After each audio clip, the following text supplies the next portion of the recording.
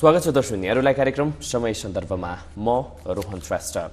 समय सन्दर्भको आजको यस श्रृङ्खलामा हामी माओवादीभित्रको राजनीति माओवादीभित्रको फुट गुट जुट एकता लगायतका विषयमा आज हामी कुराकानी गर्न गइरहेका छौँ। त्यसको लागि आज हाम्रो स्टुडियोमा नेकपा क्रान्तिकारी माओवादीका केन्द्रीय सदस्य लेखनाथ नेउपाने हुनुहुन्छ। स्वागत छ यहाँलाई।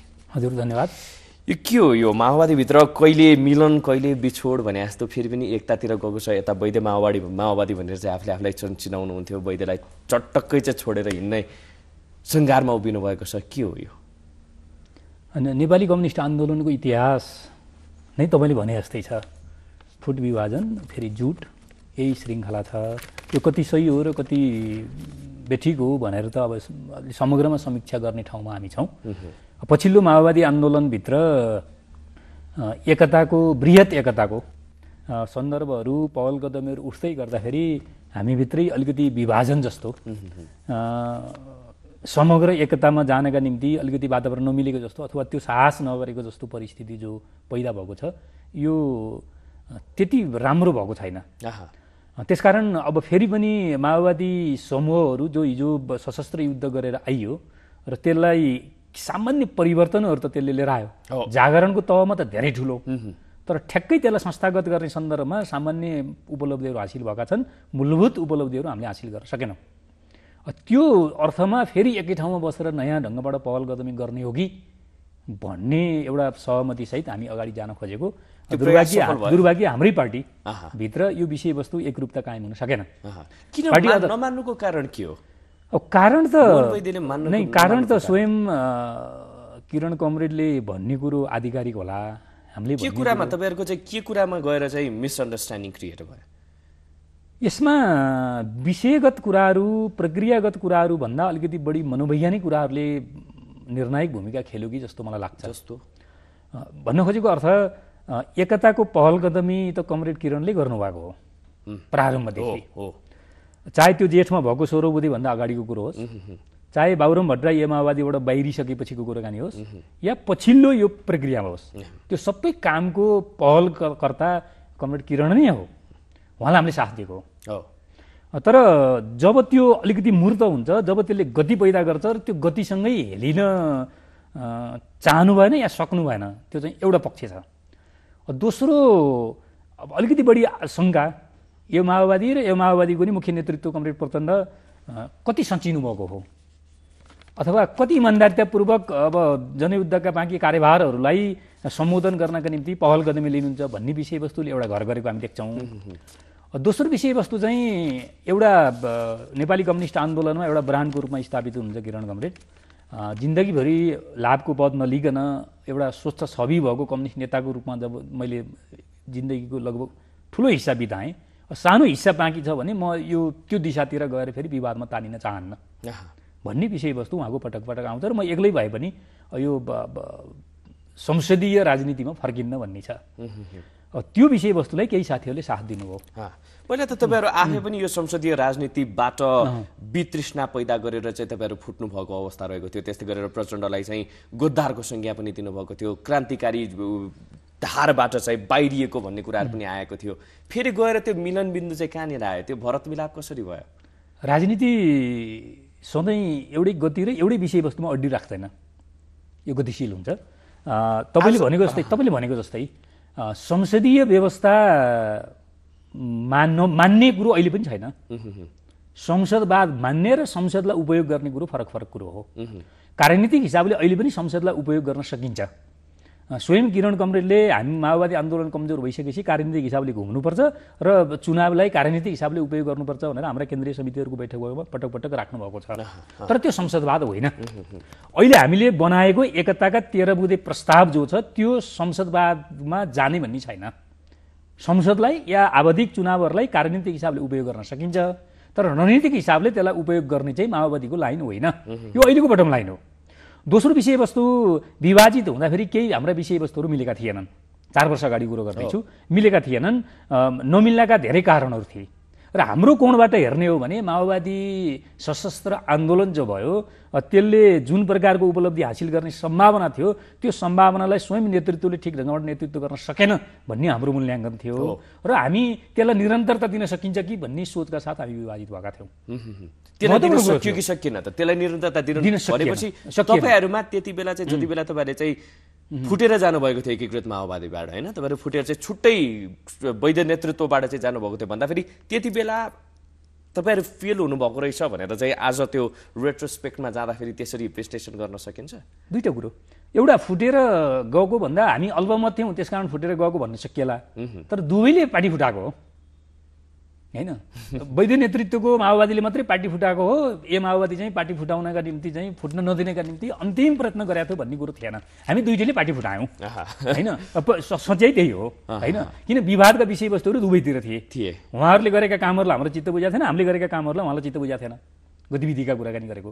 एउटा यो प्रसङ्गलाई स्पष्टसँग बुझ्नुपर्छ पार्टी फुटाएको दुइटैले हो यद्यपि त्यो सही भयो कि गतिविधि के थियो? अलिकति अलिकति बुझाएको नै त्यो त। यस्तो थियो नि त। सेना समायोजन भइसकेपछि हाम्रो बहुमत भएको संविधान सभा विघटन भइसकेपछि तपाईँको चाहिँ मुख्य त सेना समायोजनका विषयवस्तु हामीले के भनेको थियौँ भने सेना र संविधान सँगै हुनुपर्छ। सेना समायोजन गर्ने कुरो र संविधान घोषणा गर्ने कुरो चाहिँ एउटा सिक्काका दुईटा पाटा बनाएर लगेर मात्रै हामी अनुकूलको संविधान बनाउन सकिन्छ भन्ने हाम्रो बुझाइ थियो। त्यो बुझाइ अनुकूल त्यो बुझाइ गलत रहेछ। होइन गलत थिएन। किन गलत थिएन भने पहिलो संविधान सभाले जुन प्रकारको परिकल्पना गरेको संविधान थियो त्योभन्दा अलिकति पछाडि हटेको संविधान त दोस्रो संविधान सभाले दियो नि त। होइन? गलत थिएन। यद्यपि अब यद्यपि अब इतिहासको समीक्षा धेरै गरेर मात्रै पनि हुँदैन गर्न जरुरी पनि छ। दोस्रो कुरो हामीले ए माओवादीका नेताहरूलाई औपचारिक हिसाबले गद्दार कहीँ भनेका छैनौँ। राजनीति भाषणमा मञ्चमा मान्छेका स्वभाव अनुसार कसैले भने होलान्। होइन? तर आधिकारिक डकुमेन्टमा चाहिँ गद्दार भने हामीले कहीँ पनि भनेका छैनौँ। होइन? तर कमजोरी गर्नुभयो। गम्भीर प्रकृतिका कमजोरी नेतृत्वबाट भयो त्यो हामीले सहन सकेनौँ भन्ने विषयवस्तु त्यहाँनिर आएको हो। आज एकीकृत माओवादी सच्या हो त। हामी सत्य कि सत्यनौँ भन्ने चाहिँ आगामी दिनको यात्राले तय गर्नेछ। जुन तेह्र बुधा बनेको भनेपछि, छ तेह्र बुधा बनेको छ। त्यो बुदाको बारेमा अलिकति थोरै हामीलाई नै बताइदिनुहोस् न। तेह्र बुँदे जुन बनेको छ। पार्टी एकताका आधारहरू भनेर हेर्दाखेरि हामी त्यो तेह्र बुँदेलाई आत्मसात गर्ने तहमा पुग्दाखेरि हामी सबै सचिएको अर्थ लाग्छ। है? त्यसलाई बुझ्नका निम्ति चाहिँ मान्छेले बुझ्नका निम्ति आम जनताले त्यसलाई बुझ्नका निम्ति अनुभूति गर्नका निम्ति चाहिँ हामी त्यो सहित कार्यक्रम लिएर जनताको बिचमा जानुपर्छ। हाम्रो दैनिकी कस्ता हुन्छन् हाम्रा व्यवहार कस्ता हुन्छन् हाम्रा अभिव्यक्ति कस्ता हुन्छन् आन्दोलनप्रतिको इमान्दार त हाम्रो कस्तो हुन्छ भनेर त व्यवहारले टेस्ट गर्ने हो। कागजमा लेखिएको डकुमेन्टले त टेस्ट गर्दैन। त्यसले ओरिएन्टेसन गर्छ। है? एउटा यो विषयवस्तु हो। दोस्रो विषयवस्तु हामी धेरै बिग्रेका हौँ। यो माओवादीको कुरो मात्रै होइन हामी पनि बिग्रेका हौँ नि त। हामी त्यही माओवादी स्कुलबाट आएका हौँ। घडीबडीको कुरो होला होइन? मुख्य नेतृत्व र सहायक नेतृत्वको कुरो होला होइन? जिम्मेवारीको चाहिँ ऱ्याङ्क एन्ड फाइल अनुसारको कुरो होला तर हामी बिग्रिन्छ माओवादी सबै बिग्रेका हौँ। होइन? त्यसलाई स्वीकार्नुहुन्छ। म त गजबले स्वीकार्छु होइन? अरू साथीहरूले के के गर्नुहुन्छ थाहा छैन। अब ममा कति यो कमजोरी अब त्यो मैले राख्न सक्छु। तर हामी सामान्य प्रोफाइलका कार्यकर्ताहरू हौँ।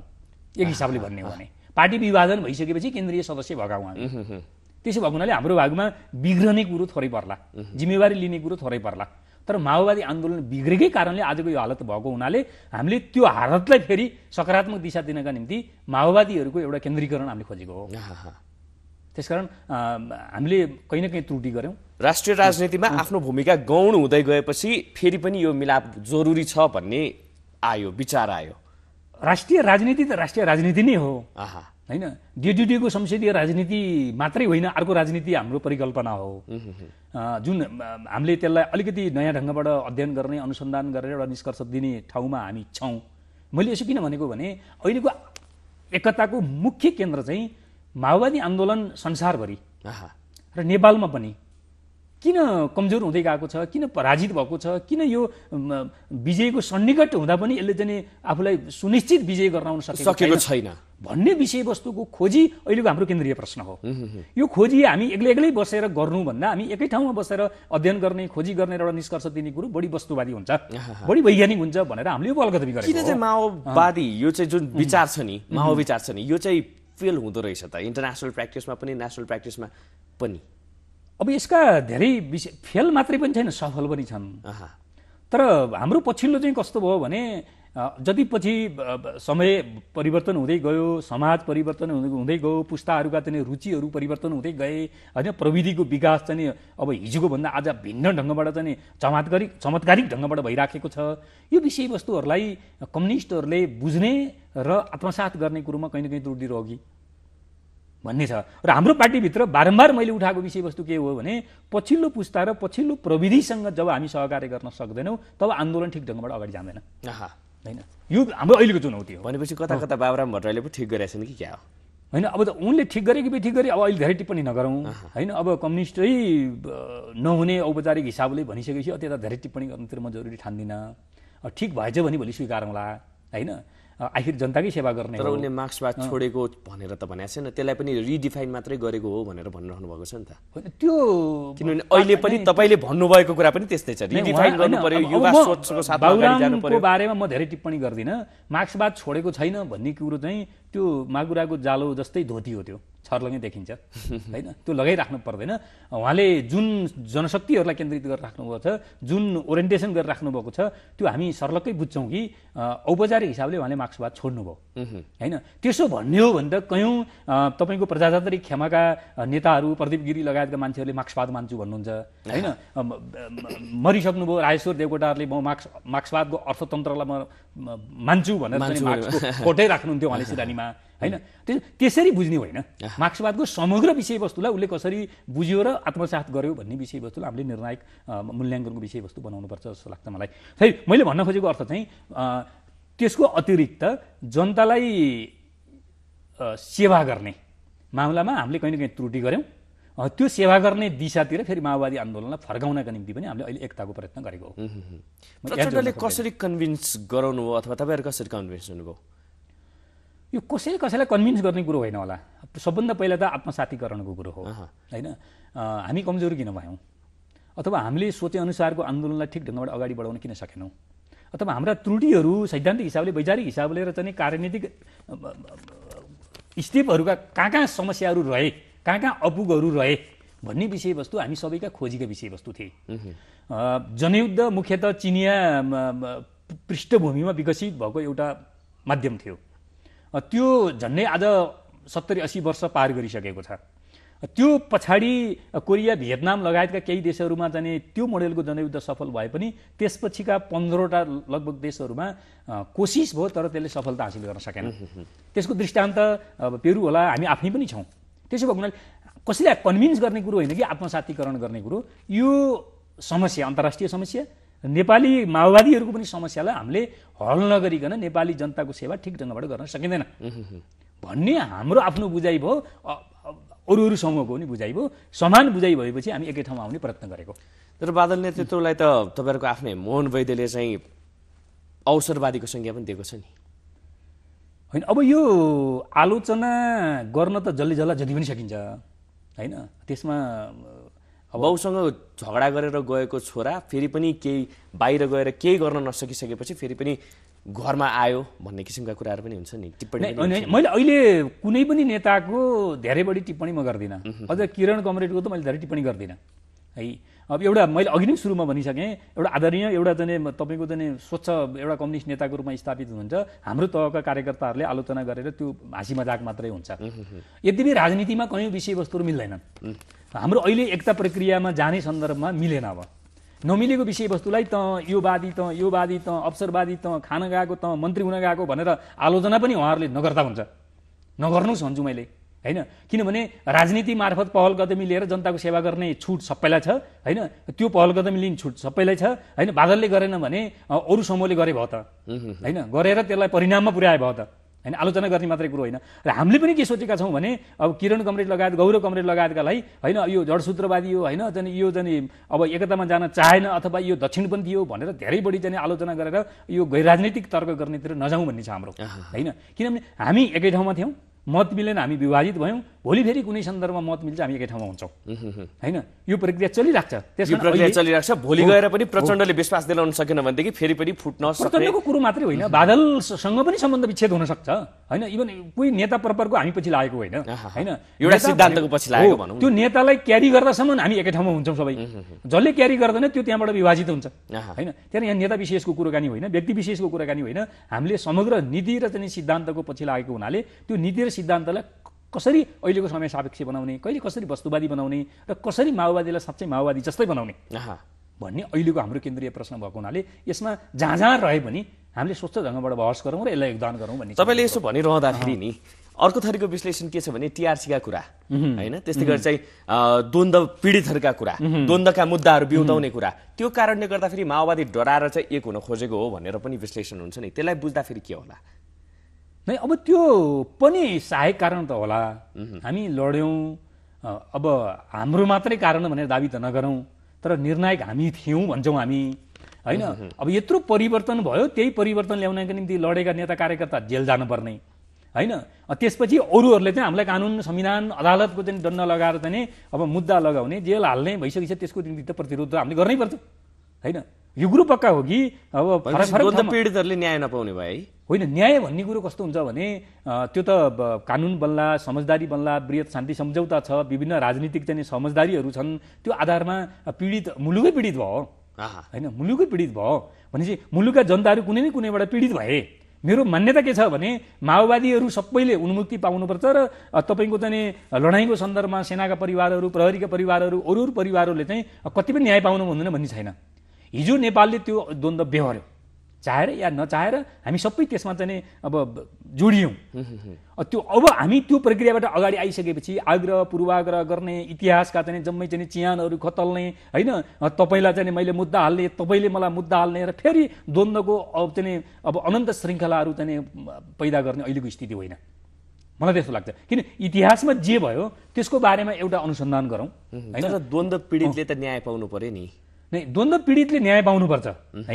त्यो कुरो पक्का हो। तर न्याय पाउने कुरोले नेपाललाई आगामी दिनमा त्यस्तो द्वन्द्व पैदा नहुने गरी हामीले सोच्नु पर्यो। चियान खोतलेर अब समस्या हल हुँदैन। अब के त? समस्या हल कसरी हुन्छ? समस्या हल त कस्तो छ भने सत्य निरूपण आयोग बनेको छ होइन? त्यो आयोगले निष्पक्ष ढङ्गबाट काम गर्नुपर्छ र समाजमा मेलमिलाप कायम गर्ने गरी होइन? हिजोको द्वन्द्व त भयो भयो होइन? मर्ने मान्छे मरे घाइते हुनेहरू भए होइन हाम्रा परिवारहरू सबैले गुमाइएको छ। होइन स्वयं मैले गुमाएको छु। होइन अब अरू माओवादी आन्दोलनमा नलाग्ने चाहिँ नेपाली जनताहरूले पनि गुमाउनु भएको छ। होइन राष्ट्रका सेवा गर्ने भनेर सेना प्रहरीमा चाहिँ अब जोइन हुनुभएका चाहिँ साथीहरूको परिवारले पनि पाउनु भएको छ। तर यो इतिहासको एउटा कालखण्ड हो। संसारका धेरै देशहरूमा यस्तो भएको छ। र त्योतिर फर्केरै हामी जाने हो भने त फेरि त्यस्तै द्वन्द्व हुन्छ। अरू धेरै पीडित भइन्छ। होइन? अरू पछिल्लो पुस्ता जो हिजो जनयुद्धै देखेको छैन नेपालमा युद्धै देखेको थिएन त्यो पुस्ता पनि फेरि पीडित हुन्छ। त्यसो भएको हुनाले अब नेपाललाई अगाडि बढाउने सन्दर्भबाट यो विषयवस्तुलाई सोचिनुपर्छ। आग्रह पूर्वाग्रहबाट होइन चियान खोदालेर त्यतैतिर रमाउने होइन अब। अब जेठ छ गते तपाईँहरू बिच एकता हुन्छ। हिजो बेलुकीको हाम्रो माओवादी विभिन्न समूहहरूको बिचको समझदारी अनुसार एकता संयोजन समिति बनेको छ पाँच सदस्यीय। त्यसले यो बिचको चाहिँ चार दिन समग्र एकताका आवश्यक तयारीहरू गर्छ र छ गते एकता भेला गर्ने भन्ने निर्णय भएको छ। त्यसकारण अब जेठ छ गते पछाडि माओवादी विभिन्न समूहहरू एउटै केन्द्रित एउटा अभियानमा हामी जुट्छौँ। एकताको कुरा गरिरहँदाखेरि एकताको जग बसाल्ने दिनमै मातृका यादव रिसाएर गए भन्ने कुराहरू पनि आयो नि। उहाँले ठ्याक्कै प्रत्यक्ष कुराकानी गर्न त पाएको छैन। अप्रत्यक्ष कुराकानी गर्दाखेरि हिजोको त्यो एकता संयोजन समिति बनाउने सन्दर्भमा मातृका कमरेड सहभागी हुनुभएको छैन। यद्यपि अन्तिम ढङ्गबाट मैले फैसला गरेको छैन भन्ने उहाँको अभिव्यक्ति आएको कुरो मैले थाहा पाएको छु। हाम्रो हामी युवाहरूले मातृका कमरेडलाई आज बेलुका हामी गर्दैछौँ। यो प्रक्रियाबाट बाहिर गएर कसैलाई पनि फाइदा हुँदैन।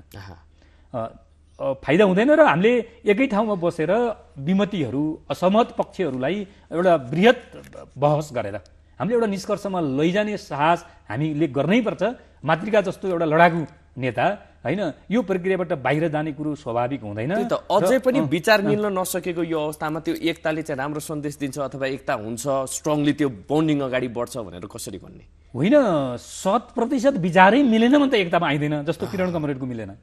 आउनु भएन। आउनै भएन। विप्लव कमरेडको मिलेन उहाँ आउनु भएन। बाबुरामको मिल्ने कुरो भएन उहाँ आउनुभएकै छैन।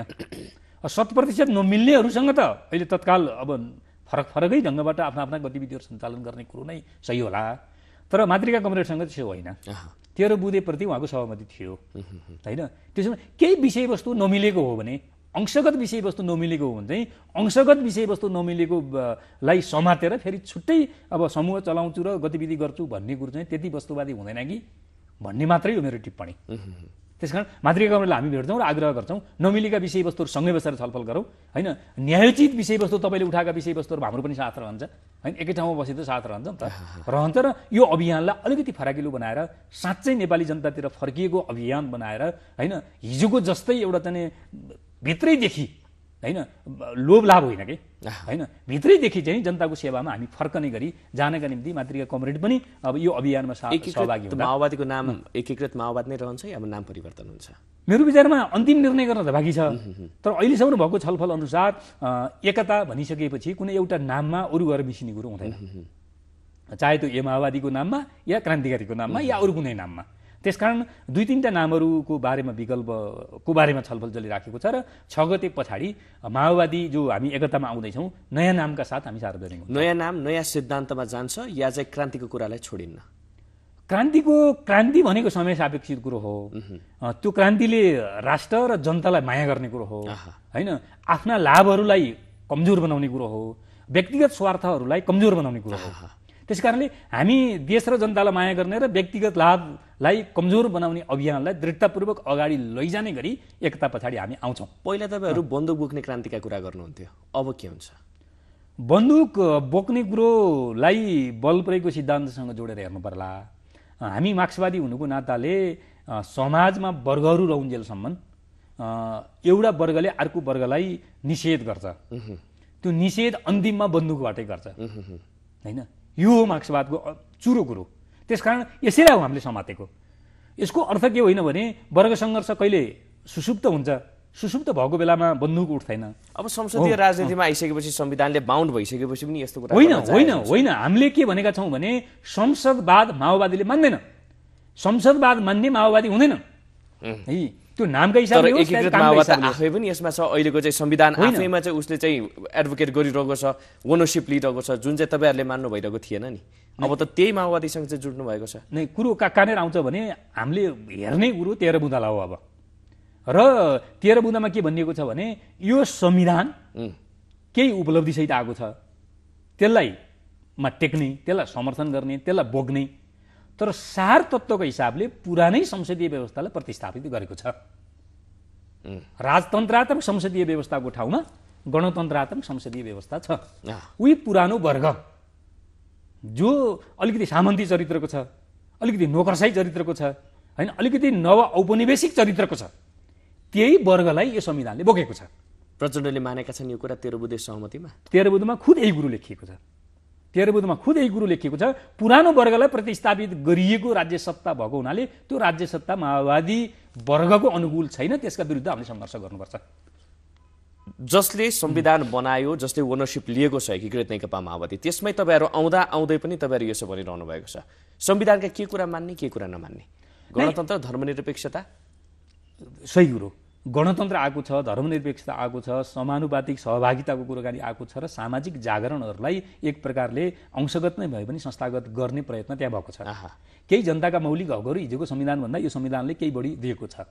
यो विषयवस्तु चाहिँ भएन भनेर हामीले भन्न मिल्दैन। त्यो ल्याउनका निम्ति संविधान मान्नुहुन्छ। नै हामी यो संविधानको सैद्धान्तिक पक्षको हामी विरोधमा छौँ। यो सही यसको अन्तर्वस्तु जो छ पुरानो वर्ग पुरानो सत्ता पुरानो चाहिँ अदालतलाई पुनस्थापित गर्ने र पुरानै सत्तालाई सत्तासीन गर्ने। यो जो यसको अन्तर्वस्तु छ जसलाई हामीले सिद्धान्त भन्छौँ त्यो हामी मान्दैनौँ। है यसको मान्दैनौँ भन्नुको अर्थ आजैदेखि यसलाई हामीले चाहिँ बन्दुकद्वारा पराजित गर्नका निम्ति बन्दुक उठाउँछौँ भन्ने होइन। आजदेखि होइन। तर कुरो के छ भने यसका केही सकारात्मक पक्षमा हामी समर्थन गर्छौँ। र यसको मूल चरित्र चाहिँ अब पुरानो सत्तालाई पुरानो वर्गलाई सत्तासीन गर्ने प्रकारको छ त्यसका विरुद्ध हामी जान्छौँ। प्रश्न छ कुरो। त्यसकारण हामीले भनेको कुरो के हो त भन्दा साँच्चै नेपाललाई शान्ति र समृद्धितिर लाने हो भने यो दृष्टिकोण जो छ यो धारा जो छ यो धाराको बारेमा अरू वर्गहरूका प्रतिनिधिहरूले गम्भीरतापूर्वक ध्यान आकर्षित होस् भन्ने विषयवस्तु पनि हो। भनेपछि अझै पनि एउटा ट्र्याकमा चाहिँ गइसकेको छैन हाम्रो राष्ट्रिय राजनीति। किनभनेदेखि तपाईँले त प्रचण्डको चरित्रमाथि नै प्रश्न चिन्ह लगाइदिनु भयो। उहाँ आफैले पनि मानिरहनु भएको छैन जबकि यत्रो चाहिँ उ गरेर चाहिँ ल्याइएको छ संविधान। अनि हामी माओवादीको कुरो त छोड्नुहोस्। त्यत्रो जनयुद्ध लडेर चाहिँ तपाईँको आधारभूत तहका जनताहरूलाई होइन तपाईँको चाहिँ त्यो श्रमिक वर्गलाई राज्य सत्ताको मालिक बनाउने भनेर बन्दुक उठाएको माओवादीहरूले यो संविधानलाई हुबहु मान्ने कुरो छोड्नुहोस् अहिले। तपाईँको यही संसदीय व्यवस्था मान्ने यही चाहिँ परम्परागत चाहिँ चाहिँ कुलिन वर्गले चलाएको राज्य सत्ता मान्ने वर्गहरू त यो संविधानका विरुद्ध छन्। भनिसकेपछि माओवादीको कुरो किन गर्ने? यो त रेडिकल फोर्स हो होइन? त्यस कारणले यसले त मान्ने कुरो गर्ने हो भने त माओवादी नाम नराखे पनि हुन्छ। यदि व्यक्तिगत हिसाबले त्यो स्वतन्त्रता हुन्छ प्रचण्डको कुरो मात्रै होइन हामी सबै कार्यकर्ताहरूको कुरो। हामी सबैको अन्त्यतिर छौँ। तपाईँहरूको यो फुट र तपाईँहरूको यो जुटले नि नेपाली जनताले चाहिँ के पाए? नेपाली राजनीतिमा गम्भीरतापूर्वक बहस गर्नुपर्ने विषयवस्तु यहीँ हो। यत्रो ठुलो राजनीतिक परिवर्तन हो नेपाली जनताले के पाए मेरो मेरो प्रश्न छ सार्वजनिक हिसाबले यही प्रश्न गरेर हो राजनीतिक परिवर्तन भयो नेपाली जनताले पाए के पाए त? त्यही त। त्यस राजनीतिक परिवर्तनलाई जब जनताको तहसम्म जनताले अनुभूति गर्नेसम्म दैनिकी चाहिँ सहज बनाउने तहसम्म हामीले लान सक्दैनौँ त्यो राजनीतिक परिवर्तन अस्थायी हुन्छ। यदि राजनीतिक परिवर्तनलाई थायी बनाउने हो भने त्यो परिवर्तित राजनीतिक चरित्र अनुसारको चाहिँ नि हाम्रा गतिविधिहरू हाम्रा डेलिभरीहरू जनतालाई सेवा दिने कुराहरू जनताको तहसम्म पुर्याउनुपर्छ ताकि जनताले राजनीतिक परिवर्तनपछि हाम्रो जीवनमा यो नयाँपन आयो। यो भएन। यो गणतन्त्रपछि पनि भएन। त्यही माओवादी एकताले जनतालाई के दिन्छ भन्ने कुरो तत्काल अलिकति माओवादीहरू एकै ठाउँमा आए धेरै समूह भएनन् एउटै माओवादी भनेर सम्बोधन गर्न पाइयो भन्लान्। एउटा त्यो कुरो होला। दोस्रो कुरो हामी इमान्दारितापूर्वक जनतातिर फर्कियौँ भने जनताले के भन्लान्? हाम्रो सेवामा अथवा हामीसँग सहकार्य गर्न माओवादीहरू फेरि साँच्चै माओवादी जस्तो भएर आए भन्लान्। हजुर यहाँ हाम्रो स्टुडियोमा आइदिनु भयो यो भरत मिलाप सम्बन्धी आफ्ना विचारहरू आफ्ना कुराहरू आफ्ना सिद्धान्तहरू राखिदिनु भयो यहाँलाई धेरै धेरै धन्यवाद। हस् हस् धन्यवाद हस्, धन्यवाद। हस्। दर्शक यहाँलाई पनि धेरै धेरै धन्यवाद। आज हामीसँग हुनुहुन्थ्यो नेकपा क्रान्तिकारी माओवादीका केन्द्रीय सदस्य लेखनाथ नेउपाने र हामीले कुराकानी गऱ्यौँ माओवादीभित्रको फुट त्यस्तै गरेर एकताको विषयमा। यहाँलाई पनि धन्यवाद। हामीलाई साथ दिनुभएकोमा समृद्धि र शान्तिको अभियान। हेर्दै रहनुहोला हिमालय टेलिभिजन। नमस्ते।